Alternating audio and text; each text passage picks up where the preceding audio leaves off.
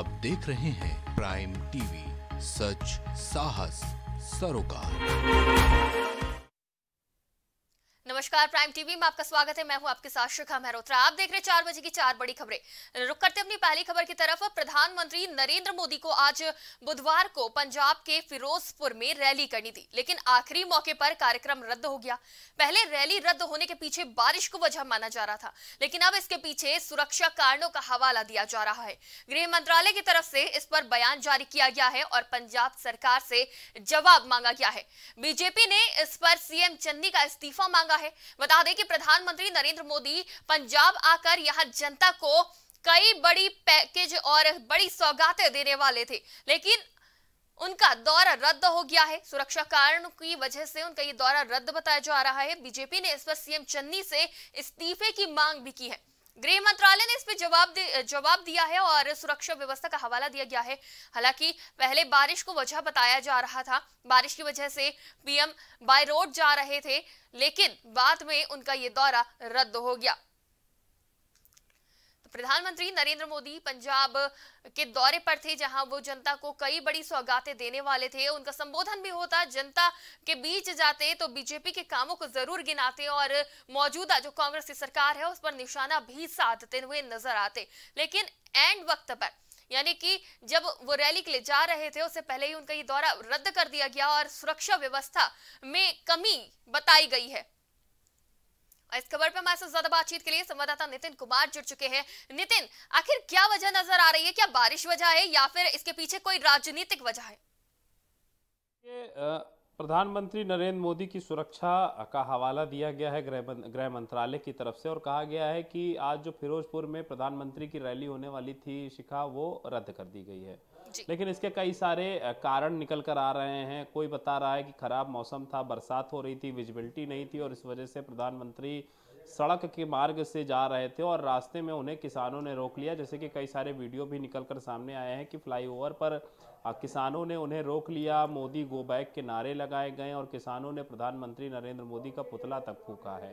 दूसरी तरफ़ गृह मंत्रालय की तरफ़ से ये कहा गया है कि पंजाब सरकार की तरफ़ से और पंजाब के गृह मंत्रालय की तरफ़ से ये बात कही गई थी कि जिस रास्ते से प्रधानमंत्री नरेंद्र मोदी आएँगे वो रास्ता सुरक्षा की दृष्टि से बेहतर है और कोई दिक्कत नहीं होगी। पूरा मामला है कि प्रधानमंत्री नरेंद्र मोदी आज सुबेरे भटिंडा पहुँचे थे और वहाँ से जो रैली स्थल पर जो जाने का रास्ता था वो हेलीकॉप्टर से तय होना था। लेकिन खराब मौसम और विजिबिलिटी की वजह से आ, कहा गया कि प्रधानमंत्री नरेंद्र मोदी सड़क मार्ग से जाएँगे और आनंद फानंद में जो एसपीजी थी प्रधानमंत्री की उसने पंजाब सरकार से अनुमति मांगी कि सड़क मार्ग का जो रास्ता है वो सही तरीके से सुचारू रूप से होए जाके प्रधानमंत्री वहाँ से गुजर सके।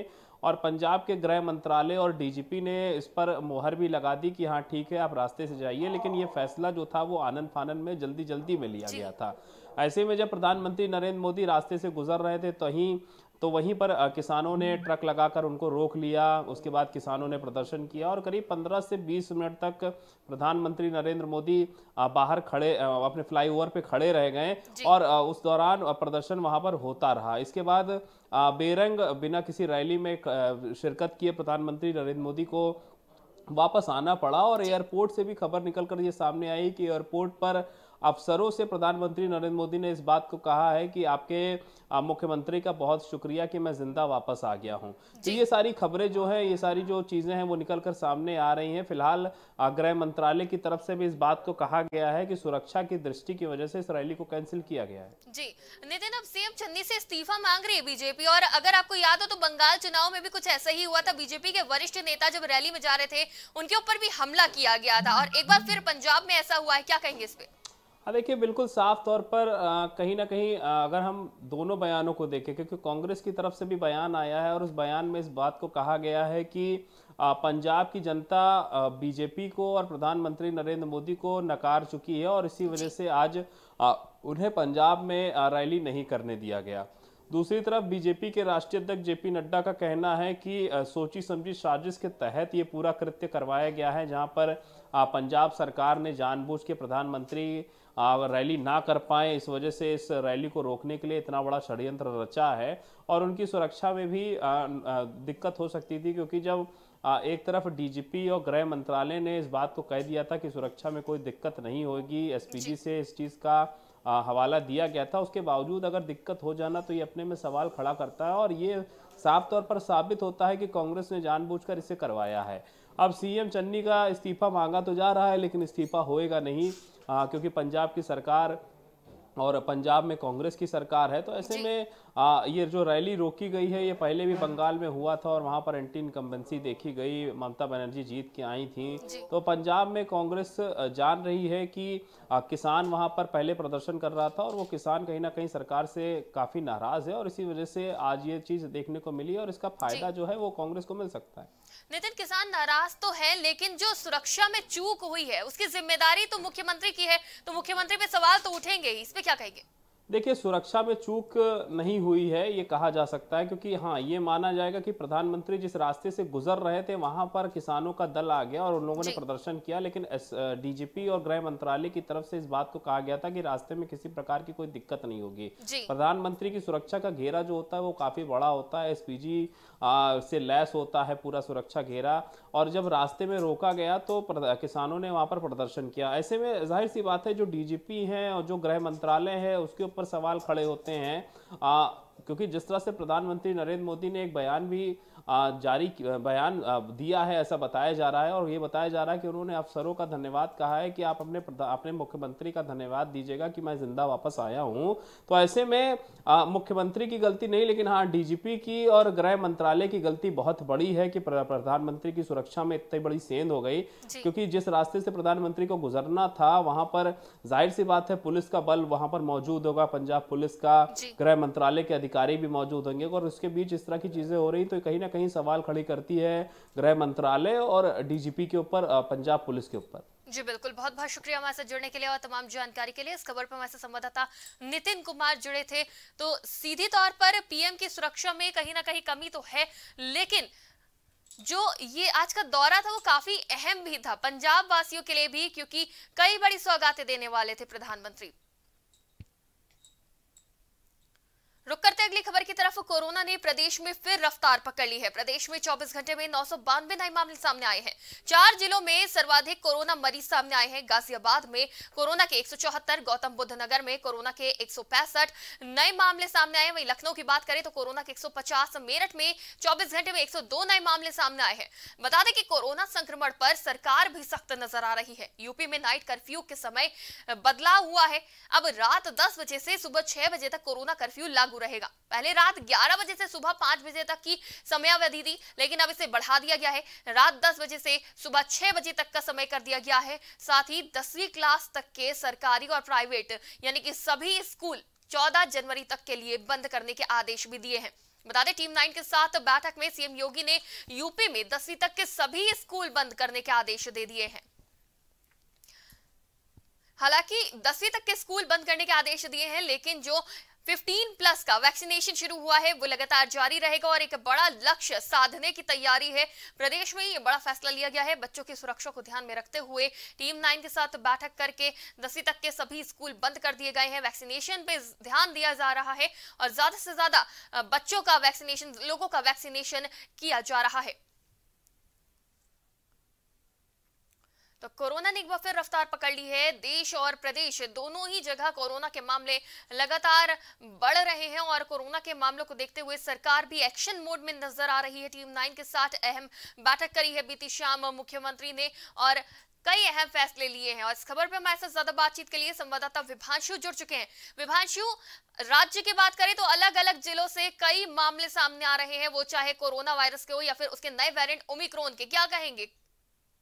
आपको बता दें कि उत्तर प्रदेश में कल 24 घंटे के भीतर एक लाख चालीस हज़ार टेस्ट किए गए उसमें नौ सौ बानवे मामले सामने आए हैं। और अगर उत्तर प्रदेश की बात करें तो 24 घंटे में 150 मामले आए हैं। और आपको लखनऊ में 150 मामले आए हैं। और एक बार फिर उत्तर प्रदेश की बात करें तो गाजियाबाद और नोएडा कोविड का जो फैलने का वो स्थिति है, ये दोनों जगहों पे खराब है।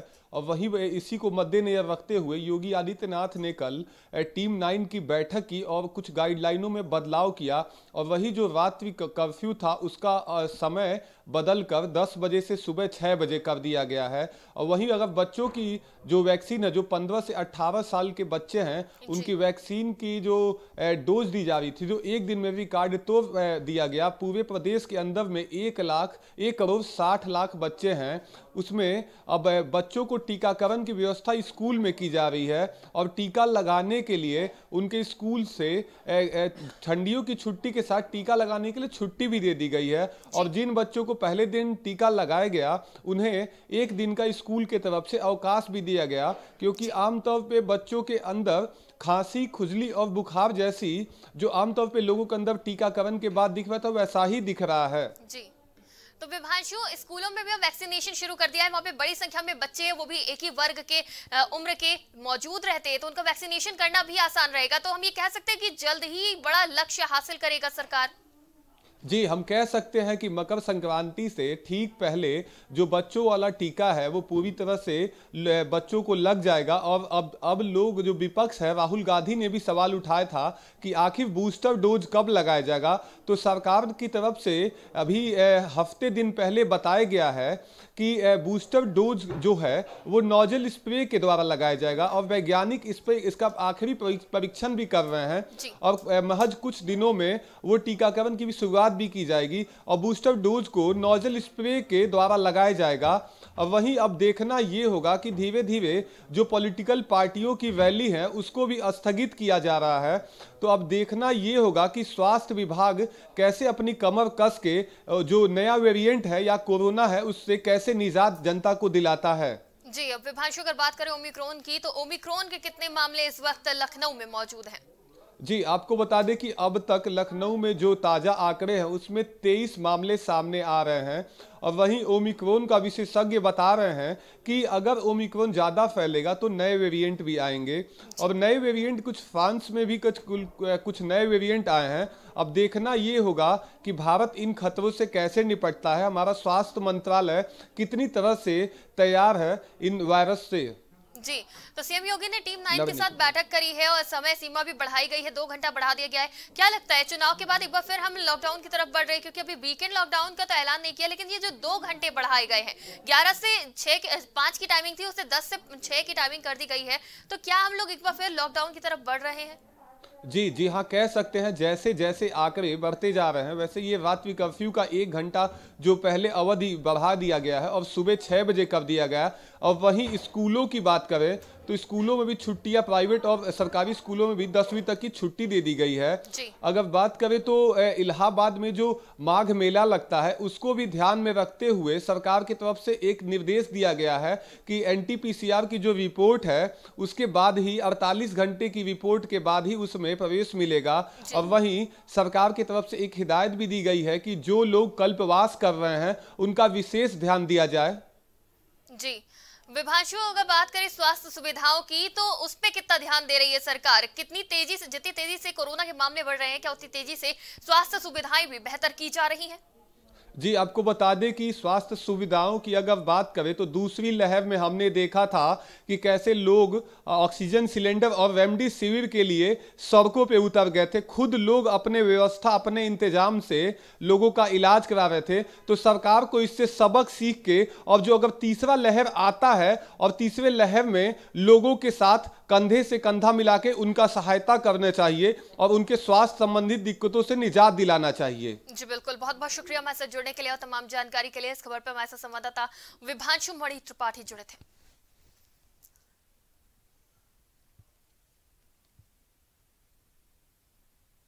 रुक करते हैं अगली बड़ी खबर की तरफ़। रायबरेली से ये बड़ी खबर सामने आ रही है, जहाँ पे एम्स में कोरोना का ब्लास्ट हुआ है। यानी कि रायबरेली के एम्स में एक साथ पंद्रह स्टाफ नर्स की रिपोर्ट कोरोना पॉजिटिव आई है। रिपोर्ट पॉजिटिव आने के बाद स्वास्थ्य विभाग में हड़कंप मच गया है। बता दें कि एक्टिव मरीजों की संख्या अब ज़िले में 26 हो गई है। तो रायबरेली से ये खबर सामने आई है, जो कि आज की बड़ी खबर भी है, क्योंकि कोरोना के मामले लगातार बढ़ते जा रहे हैं। और अगर बात करें प्रदेश की तो हर जिलों से कोरोना के मामले सामने आए हैं।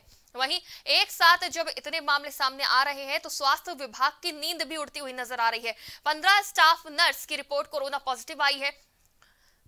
और अब इस ओर ध्यान दिया जा रहा है कि जो भी मेडिकल स्टाफ है, उनकी जाँच ज़्यादा से ज़्यादा हो समय समय पर जाँच होती रहे, क्योंकि वो कोरोना मरीजों के बीच में रहते हैं तो उनकी जाँच होना ज़्यादा ज़रूरी है, वरना वो कोरोना वॉरियर्स की जगह कोरोना वैरियर्स बन सकते हैं। आज हमारे यहाँ सत्रह केस आ गए थे रात में, जिसमें से पंद्रह तो केवल एम्स मुंशीगंज के हैं। वहाँ का स्टाफ है और एक हमारा स्टाफ है और एक प्रतापगढ़ का है। सबकी आर आर टी कराई जा रही है, सबको दवा दी जा रही है।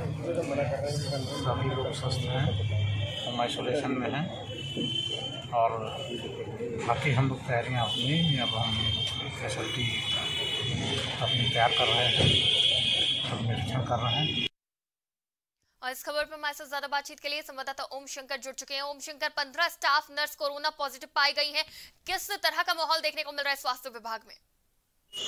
या कहीं ना कहीं रैली का स्वास्थ्य महकमा पूरी तरह से इस समय जो है वो हड़कंप मचा हुआ है। एम्स प्रशासन से लेकर और ज़िले के स्वास्थ्य के आला अधिकारियों तक क्योंकि रायबरेली जनपद में एक साथ जो है सत्तर रिपोर्ट लोगों की कोरोना पॉजिटिव आई है जिसमें कि पंद्रह लोगों का सिर्फ़ एम्स का स्टाफ ही है। आपको बताते चले पिछले हफ़्ते एक स्टाफ नर्स भी कोरोना पॉजिटिव हुई थी? उसके बाद जाँच उसके बाद जो पंद्रह स्टाफ नर्स के पॉजिटिव होने से कहीं ना कहीं एम्स प्रशासन के साथ साथ पूरे ज़िले में हड़कंप मचा है। जी ओम शंकर अगर बात करें इनके ज़रिए यानी जो पंद्रह स्टाफ नर्स कोरोना संक्रमित पाई गई हैं इनके ज़रिए इनके कांटेक्ट में जितने लोग आए होंगे वो भी संक्रमित हुए होंगे। तो कांटेक्ट ट्रेसिंग का काम क्या शुरू हो चुका है? जी हाँ हाँ, हॉस्पिटल की सैनिटाइजेशन से लेके जिस घर में रहती है उनके परिजनों से लेकर और इनके जो है रूम पार्टनर से लेकर हॉस्पिटल में जिन जिन पेशेंटों का इलाज इन्होंने किया है वहाँ तक ट्रेसिंग का काम चालू है और उनके जो है जाँच के आदेश दिए गए हैं। जी ओम शंकर 26 हो गई है ज़िले में एक्टिव मरीजों की संख्या और ओमिक्रोन की बात करें तो उसके कितने मामले सामने आए हैं? नहीं अभी जीनोम की जाँच के लिए सैंपल गया है अभी उसकी रिपोर्ट नहीं आई है। फ़िलहाल आर आरटीपीसीआर जाँच में इन जो आज पाए गए हैं सत्रह लोग ये कोरोना पॉजिटिव ही पाए गए हैं। अब इसके बाद जब जीनोम सिक्वेंसिंग की रिपोर्ट आएगी तो उसमें होगा कि ये ओमिक्रॉन है या नहीं है। जी अगर बात करें जनता की तो जनता कितनी जागरूक या लापरवाह दिख रही है? नहीं जनता निश्चित रूप से जो है लापरवाह दिख रही है क्योंकि बाज़ार से लेके और जो है चुनावी जनसभाओं तक में लोग बगैर मास्क के उल्लंघन कर रहे हैं। हालाँकि प्रशासन लगातार बार बार समझाने की कोशिश कर रहा है गाइडलाइन भी जारी कर रहा है। नाइट कर्फ्यू का भी आदेश हुआ है लेकिन कहीं ना कहीं जनता में अभी अवेयरनेस नहीं हुई है जी और नाइट कर्फ्यू की बात करें तो क्या उसका पालन करवाया जा रहा है या उसमें भी लापरवाही देखने को मिल रही है? नहीं नाइट कर्फ्यू का तो पालन कराया जा, जा रहा है क्योंकि रात में दस बजे के बाद वैसे भी ठंडक पड़ती है तो लोग बहुत कम निकलते हैं। हालाँकि पुलिस प्रशासन मौकों पर मुस्तैद रहता है और बगैर मास्क लगाए वाले गाड़ियों का भी रोक कर चालान तक किया जा रहा है। लेकिन दिन में जो चुनावी जनसभाएँ हो रही हैं उनको रोकने के लिए जो है जिला प्रशासन ने अभी तक कोई भी पुख्ता कदम नहीं उठाया है। जी ओमशंकर कोरोना के मामले तो तेज़ी से बढ़ रहे हैं। क्या सरकार अलर्ट है? क्या तेज़ी से टेस्टिंग करवाई जा रही है? हाँ टेस्टिंग है कॉन्टेक्ट टेस्टिंग और ट्रेसिंग तीनों का काम जो है वो ज़ोर शोर से चल रहा है लेकिन कहीं ना कहीं जो है चुनावी जनसभाओं की भीड़ जो है ये कहीं ना कहीं कोरोना बम फूटने में एक मददगार भी है जिसको रोकने में रायबरेली का जिला प्रशासन पूरी तरह से फेल हो रहा है। जी, बिल्कुल। बहुत बहुत शुक्रिया हमारे साथ जुड़ने के लिए और तमाम जानकारी के लिए। इस खबर पर हमारे साथ संवाददाता ओम शंकर जुड़े थे, रायबरेली से।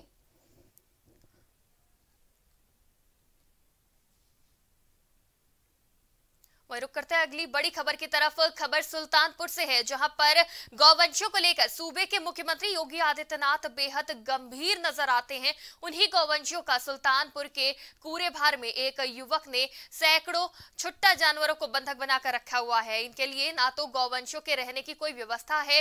हालत ऐसी हो गई है कि इस ठंड में खुले आसमान में गौवंश तड़प कर मर रहे हैं। आपको बता दें कि आला अधिकारियों से लेकर सूबे के सीएम और देश के पीएम को इस मामले में लिखित रूप से बताया जा चुका है। वहीं युवक का कहना है कि जो जानवर हर दिन प्रताड़ित हो रहे थे, उससे अच्छा है कि वो यहीं पर मर जाएँ। यानी तस्वीरें देख सकते हैं आप, ठंड में खुले आसमान के नीचे किस तरह से गौवंशों का बुरा हाल है, ठंड में तड़पने को मजबूर है, और इस बात की जानकारी सूबे के मुखिया को भी दी जा चुकी है, और बात करें देश के मुखिया तो उनको भी दी जा चुकी है, लेकिन अभी तक इस पे कोई कार्रवाई नहीं हुई है। आला अधिकारियों को भी इसकी सूचना दी जा चुकी है, लेकिन ये बेचारे बेजान जानवर तड़पने को मजबूर हैं। तो ठंड में बेहाल होते जानवरों की तस्वीरें सामने आई है, भूख प्यास से तड़प रहे हैं, ठंड में रहने को मजबूर है खुले आसमान के नीचे ये गौवंश, जिनको लेकर सूबे के मुखिया कई योजनाएँ लेकर आते हैं, इनकी सुरक्षा की बात करते हैं, लेकिन इनका ये बुरा हाल देखने को मिल रहा है, सुल्तानपुर से ये बड़ी खबर सामने आई है। तो सुल्तानपुर से ये खबर सामने आ रही है, जब गौवंशों को लेकर सूबे के मुख्यमंत्री योगी आदित्यनाथ बेहद गंभीर नज़र आते हैं। इस खबर पर हमारे साथ संवाददाता गौरव श्रीवास्तव जुड़ चुके हैं। गौरव, जिस तरह से ये तस्वीरें सामने आई खुले आसमान के नीचे रहने को गौवंश मजबूर हैं और दूसरी तरफ़ मुख्यमंत्री योगी आदित्यनाथ बेहद गंभीर नज़र आते हैं गौवंशों को लेकर। उसके बावजूद ये जो तस्वीरें सामने आ रही है, क्या कहेंगे इस पे? देखिए शिका मैं आपको बता दूँ कि मुख्यमंत्री योगी जब से सत्ता में आए तब से वो लगातार कह रहे थे कि गोवंश है वो हमारा अमूल्य धन है और चूँकि हम गाय को माता के रूप में पूछते हैं इसलिए इन रत्नों को इन जो अमूल्य अंश को हम यानी दरकरार नहीं कर सकते हैं। और उनके द्वारा लगातार गौवंशों को लेकर तमाम तरह की योजनाएँ बनाई जाती रही हैं और इसके पहले भी आपको बता रहा हूँ उन्नीस में भी इनकी एक योजना आई थी उत्तर प्रदेश सरकार की कि उत्तर प्रदेश सरकार गौवंश से बेसहारा गौवंश से आश्रय सहभागिता योजना।